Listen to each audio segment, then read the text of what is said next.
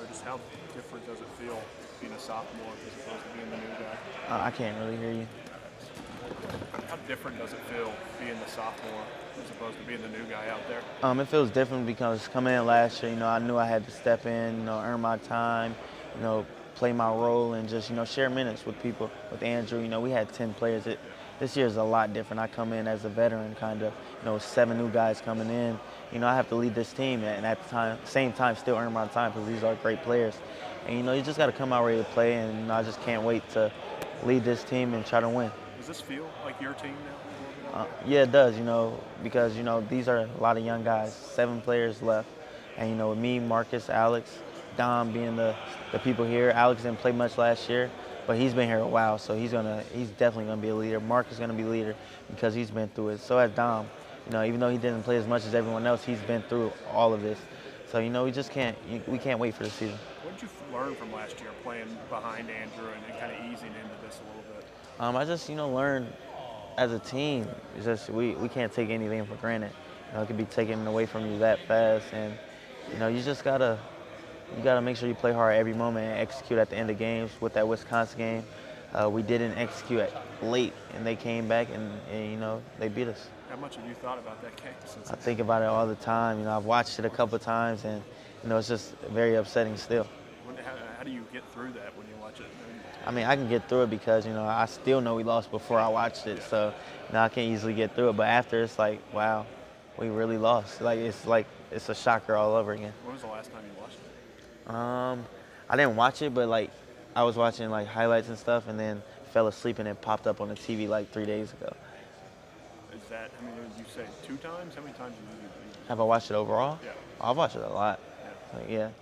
Well, you were a guy in the locker room afterwards who said that loss invalidated everything you've done before that. Does that have you softened on that at all, any? Or um, I, yeah, I've softened a little bit, but I feel. I, I feel the same way because you know we did have a great season though. We went we won 38 straight games. Nobody can take that away from us. But you know, I feel like our goal as a team was to win the national title, and we didn't do that. So you know, it's just like we went 38-0 for no reason. We went 38-0. We got to go 40-0 to win. So we didn't do it. How did the way last season go? How does that change the expectations for this year for you? For me, um, I just expect to win the national title again. I don't expect to go 38 and 0 again. I would want to, of course, but I don't expect, you know, with this many new guys for us to have perfect games. You know, last year if I played terrible, Andrew come in, he played terrible, I come in. It's gonna be a little different. You know, we gotta play through stuff. So, you know, it's just gonna, you know, we're gonna have a special and great season. I feel like, but you know, it may be different. Cal said you turned down the chance to play for the national team this summer, Team USA. Did, what was the thought process? Um, I, I feel like I just need to. What was that wasn't what's best for the team. You know, I've never played for USA and I've always wanted to, but you know, my shin splints last year and stuff like that. If I wanted to this team to be great like last year, I had to be healthy. So, you know, I felt like I had to sit out, get my rest, and, you know, make sure my body was good so I can last through the season. What are you seeing from your teammates this summer, just in pickup games and stuff? Um, a lot of guys are a lot better from last year, you know. Most mostly Marcus Lee. He's been great. You know, Skal being a great player, Marcus Lee is a really good player right now. He's making jump shots you know, hook shots, of course, catching lobs, blocking shots. And, you know, the new guys coming in are really good. You know, Skal is very skilled. Um, he is the player everybody thinks he is. And, you know, Charles is a lot better than people think he is. You know, Zay and Jamal came in with their hype, which they are. They are what they're expected to be. And Charles, he's just, he's a sleeper. I feel like he's a lot better than people know. Can you tell a difference in Marcus now? I mean, that he kind of feels like it's his moment. Most definitely, because I feel like he has that confidence. He feels like he deserves the ball. Like he feels like once he get it, he's gonna score. He feels like he's not just, you know, Marcus Lee who needs to come in and give energy and block shots. He's Marcus Lee who needs to do a lot more. We've heard Cal talk all summer with this positionless basketball thing with all these different guys playing. How does that fit in for you all? You got so many guards who can play together different spots out there.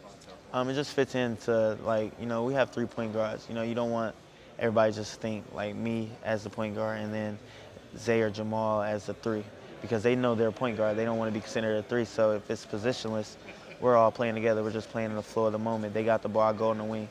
I got it, they go on the wing. And it's just, we're just going to try to play together the best of our ability. And we're really clicking right now in open gym. You and you and Andrew had some success playing together last year. Yeah, that I feel like. Three, does that go to a whole I feel like it's gonna be the same way because with me and Andrew, Andrew is actually a better facilitator than people know, and you know he um, played great with me and off me because he could be more of a scorer and attack more, and that's the type of player Zay is. But he's a he's a naturally born scorer. Like he's a he's a walking bucket. So you know he's just he's just gonna be in there getting buckets off of me and stuff like that, attacking. And then me and Jamal are more shooters, and Jamal plays in the pick and roll, kind of like me. And then he can score the ball a lot as well. So I feel like we're gonna be great together. Have you taken Isaiah kind of under your wing this summer? It seems kind of like that. Yeah, yeah, that's my son. What, did, what did you want to do with that relationship with him? Um, no, we just we've known each other for a while, but you know we've never been around each other, and we, you know, we just clicked. You feel me? We just we're just really close right now, and we're always together, and that's my boy.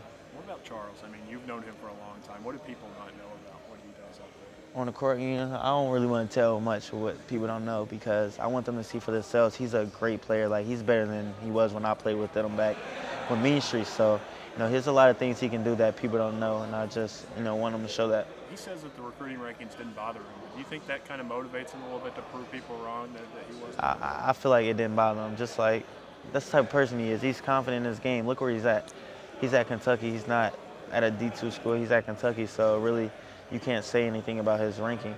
It doesn't matter. It's in high school. It's it's, it's gone. The number one player from last year could be terrible this year. You know, it wouldn't matter. But you know, he's a great player. He's a lot better than people think. Um, I feel like his stock may have dropped because of the team he was playing with. So, no, he's, he's going to be good. What did you learn about Cal last year playing for him?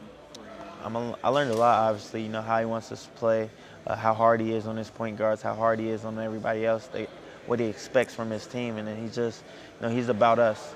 You know, he wants us to do what's best for us. He wants us to be the best player we can be. How much is he on you about taking that leadership role? You know, Um, he tells me all the time I need to be a leader, that, you know, I need to come in here ready to lead this team and just make sure everybody's right. what about him makes him a Hall of Famer? uh, everything. You know, he's a great coach. Um, the things he's done at this program, other programs, he won so many games, Final Fours, championships, and then I feel like the best thing is he's sending these kids to the NBA.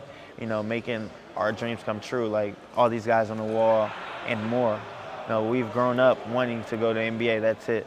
And you know, he's making their dreams come true. You feel like there's kind of a little international flair to this roster now? You got a Haitian, a couple Canadians, Australian guy out there. Yeah, I don't see Skal as international right now. He, he's kind of he's kind of like us, but Jamal and, and Isaac most definitely Isaac. Um, he's kind of got an accent to him, but Jamal's pretty cool too. Uh, he's got a little bit of accent, but you know he's a funny kid. But you know it's no different from anybody else. Uh, they still speak English and they're just like us. What do you? Have any of those guys kind of impressed you more than you thought? The new faces out there. Um, I've, I've, I knew Skal was really good, and Jamal, he, he impressed me. Like I like this game.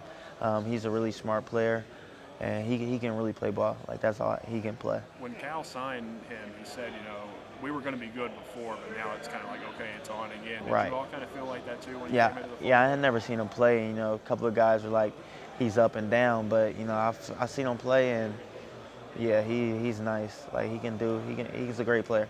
What about you individually? What goals kind of do you have from you? Um, I just want to come out here and win, just play to the best of my ability as a team. But you know, I, I just want to gain weight, get stronger, bigger, more flexible. Just make sure my body's right. Is that assist record still something you think about occasionally? Um, I, I really didn't think about it then. It's just you know that's something my dad's talked about. So you know, of course, that's what if I want to. I'm a passer, so I like assists. So you know that's something I would go for.